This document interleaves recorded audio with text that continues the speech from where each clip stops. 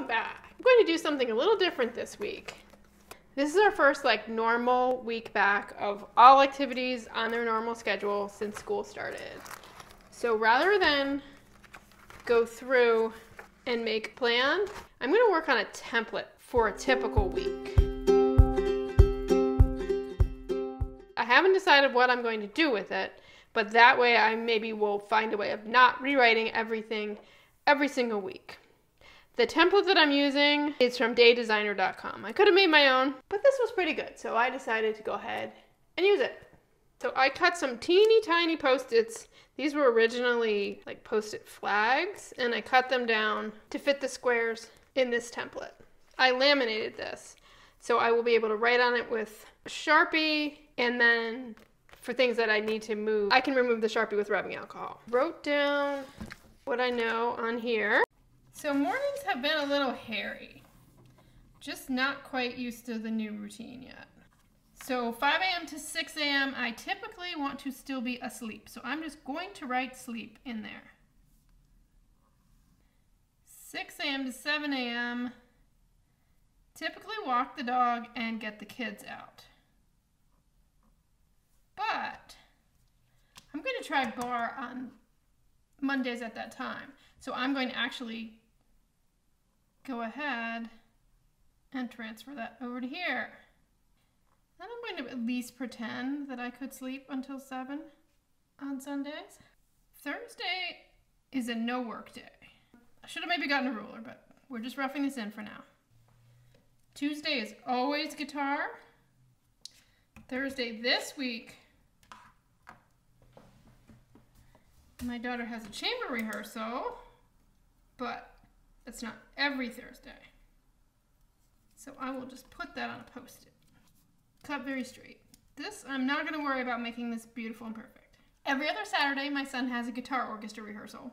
So I'm just putting that in brackets so I know that I have to check the schedule. I do know which days it is. So there's orchestra rehearsal every Saturday. But then business stuff. Monday, Wednesday, and Friday, I send proofs out.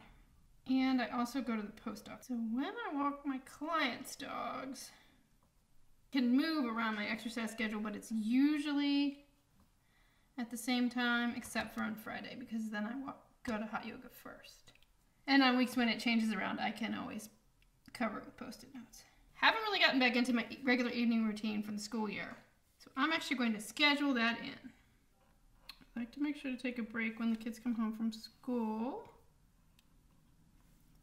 This is ideal week, and I'm kind of doing it more what my actual week looks like. But I'm kind of hoping that by doing this, I'll be able to shift things closer to how I would like them to look. So let's put in some exercise classes.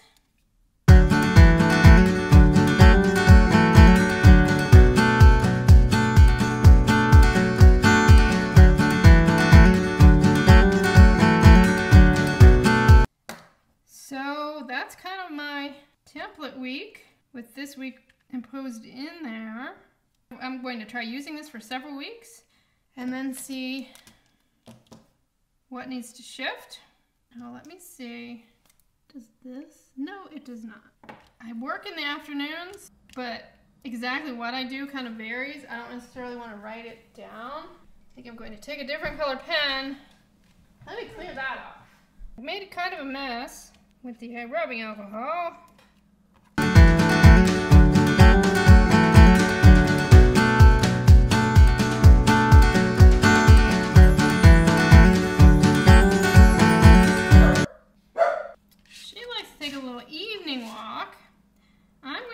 To her in at 8 o'clock. All right. I should get different color post-it notes. I should do some more color coding as I go along. But for now, I will use this. I have my own daily inserts, but since the Day Designer website has them available in the full size that fits in this, it's not exactly the same setup as I use, but it works, and I don't need to reinvent the wheel. She has a really nice system. I've never bought one of her flagship books. They're like dated daily planners, and I don't need a daily every single week. For now, I will put the dailies behind these, but if I use one, then I'll pull it up in front. Now, let's eat. Well, Let's not actually eat, but let's do the meal plan. I wrote down on this post-it note a couple of things I picked up at Aldi and a few things that are coming in the CSA. So this is what I have, and this is what I need to buy for the recipe that I picked out. Those are all for Wednesday. So I don't need to buy anything for Monday. So I'm going to write on my little grocery list at the top, by Wednesday. So I already knew that next Saturday I want to make Spanish tortilla. Maybe I should shoot that for you. I can't make any claims to being really good at it. My sister-in-law's from Spain. That's why I know about it. I'm not super great at it, but it'll do. Oh, and I will pick up some basil. Because, okay, on Monday, I'm going to do a green salad, and that I won't have the CSA yet. So that's with the asparagus and crimini. I also need eggs. I actually really like soft boiled eggs on a salad. I, I don't know how I started doing that. Probably sounds gross, but it's actually, I really like it. The Buddha Bowl is a recipe. I'll link it below. I think it's Love and Lemons. I was looking for a recipe that uses delicata squash because we have delicata squash coming in the CSA, so that's really exciting. And then on Sunday, I will do a one pot pasta dish. We have tomatoes coming. That'll work. That's my week, but I do need to think about lunch on Saturday. We're on the road. For now, I'm just going to write that there. Know that I have to think about that. Make sure. Oh, and I need pizza. So that's the food for the week. I should move a to-do list up. Because I have some things I need to make sure I do. Maybe like the very front. I hope I've inspired you to think about making a weekly template for yourself. If you enjoyed this video, click subscribe below. See you next week!